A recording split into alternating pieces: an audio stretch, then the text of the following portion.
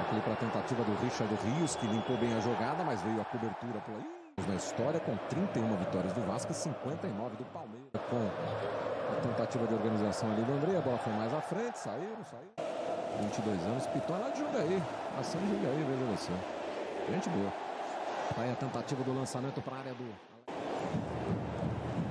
Devolve de cabeça o Garcia. Para trás não chega ninguém do Palmeiras. Quem chega é o Alex Teixeira para tirar o Vasco e tentar puxar velocidade para o contra-ataque. Mas aí o passe foi. Pelo Rio, com isso, pelo lado direito. Ele está caindo aqui pelo lado direito.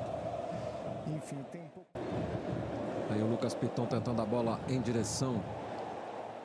Alex Teixeira que chega para encarar a marcação. Gomes vai com ele, trouxe para o pé direito. A batida, desvio!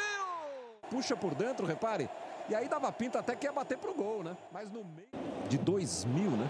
Olha a tentativa ali pelo lado direito. Alex Teixeira. E sendo decisivo mais uma vez. O Vasco achou o lado esquerdo. Arthur vai tentar avançar, vai tentar acelerar. Ele falou poucas ali, hein? Cobras e lagartos, como diria o outro.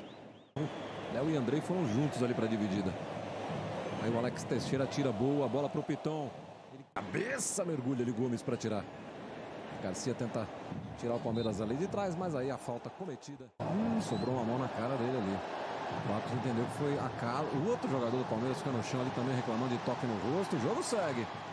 Tenta arrancar ali de trás. Estamos passando, chegando já a 26 minutos. Saiu.